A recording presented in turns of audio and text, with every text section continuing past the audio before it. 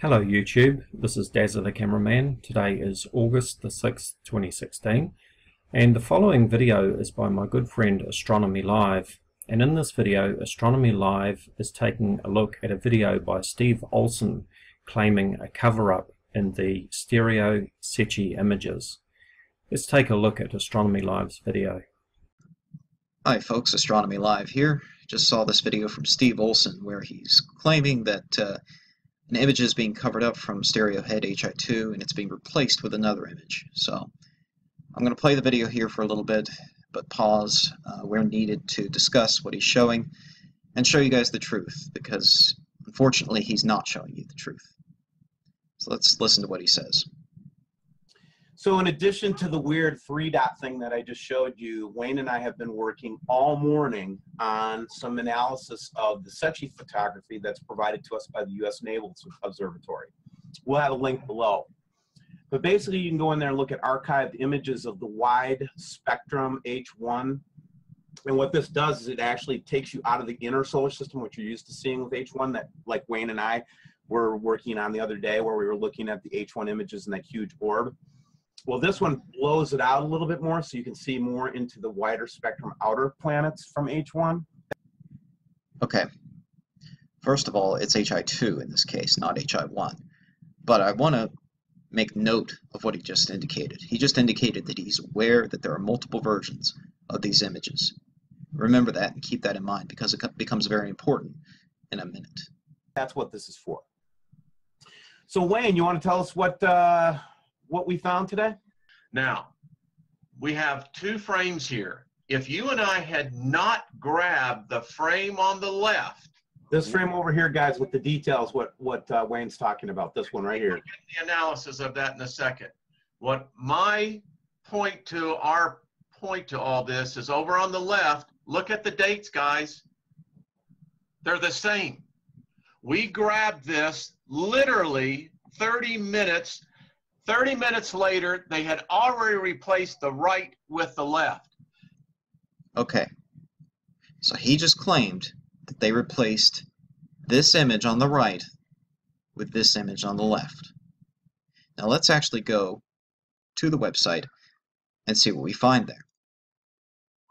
So here's the image that he claimed replaced the other one. Yes, it's up there right now. But if I go over to the next tab, oh look, there's the image that he says was replaced. They're both up there. They have been the whole time. There are multiple versions of these images available on this website.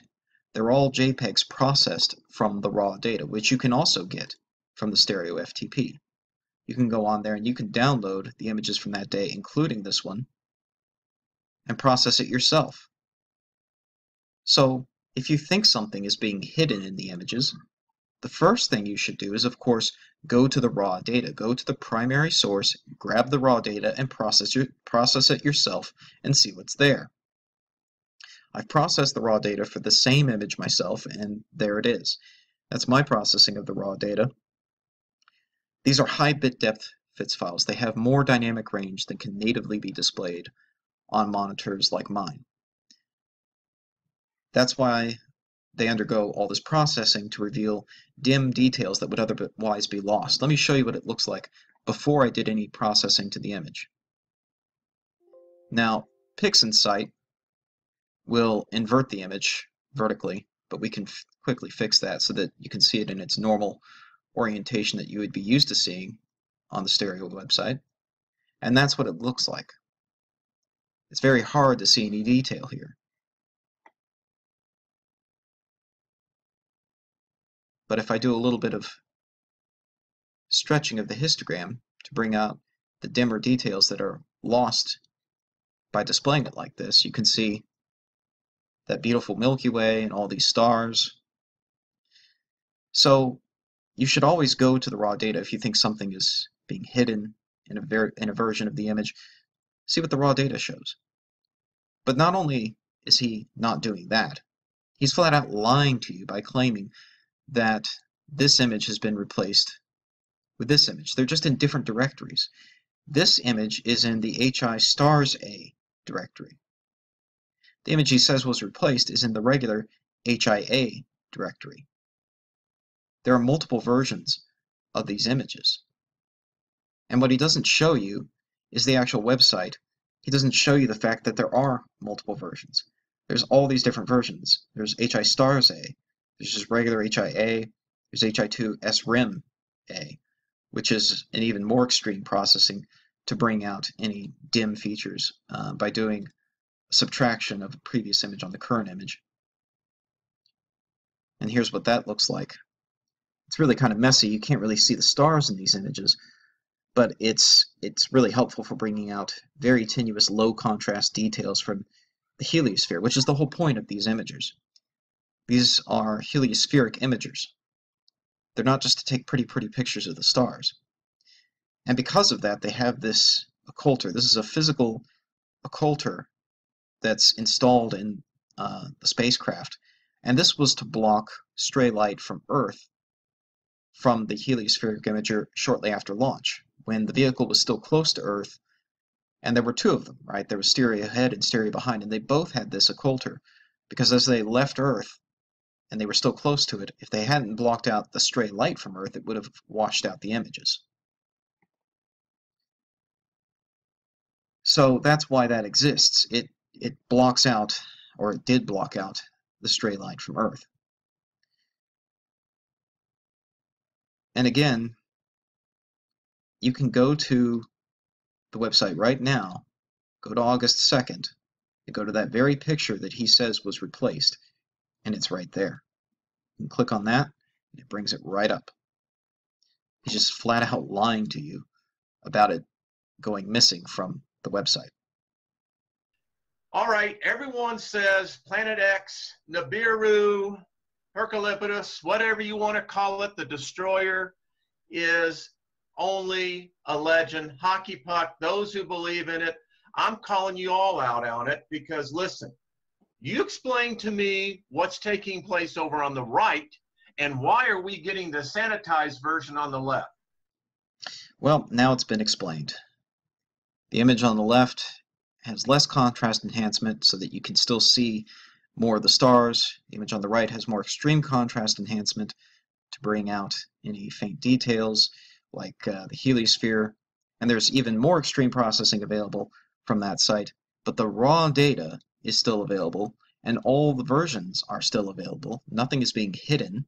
You can process it yourself if you think something's being hidden in the glow of the Milky Way or anywhere else in the image. And yet, here you are lying to people. To me, that's that's disgusting. So you're calling people out who disbelieve you. Well, here I am. So why don't you invite me on your show and let me explain to your viewers what you've been doing and what you've been concealing from them. Because he won't show you the homepage of the site and the fact that there's all these different directories. He won't go in there and show you those directories because if he did, he would find his image. So I'm going to skip ahead here a little bit.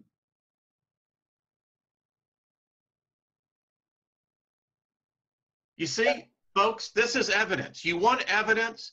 This is clear evidence of deliberate tampering with the photographs.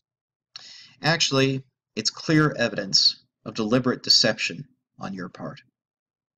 Now, you called out people who disagree with you and disbelieve you. Well, I'm calling you out now. So let's see if you respond to me. Now, he mentioned earlier that he was going to put the links in the video description.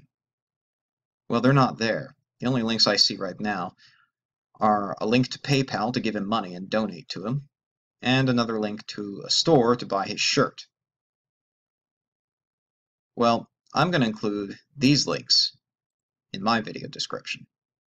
And I think when you click on them, it's going to dump you basically back out to the home page, but it'll show this bar on the left.